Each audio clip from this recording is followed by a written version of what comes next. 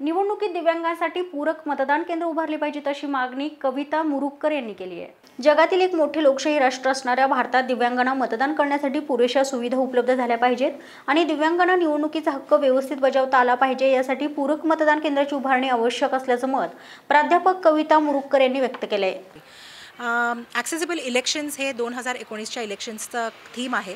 आणि याबद्दल पहिली गोष्ट की मला कौतुक आणि माझं माझं खूप म्हणजे याबद्दल I would like to say express my appreciation की uh, ॲक्सेसिबल इलेक्शन्स ही थीम घेतलेली आहे सरकारने.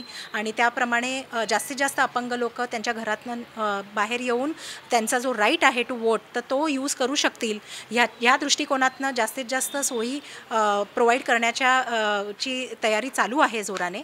आणि कलेक्टर सरांनी ज्याप्रमाणे सांगितलं आहे तर रॅम्प प्रोव्हाइड करणार आहेत. ग्राउंड फ्लोअरवर असणार आहे जास्तीत जास्त पोलिंग बूथ्स आणि ब्रेल बॅलेट पेपर्स आणि व्हॉलंटियर्स असणार आहेत. पण त्याच्याशिवाय अजून काही गोष्टी आहेत ज्या प्रोव्हाइड केल्या तर खरं खरोखर ॲक्सेसिबल इलेक्शन्स हे जे आपलं स्वप्न आहे ते पूर्ण होऊ शकतं.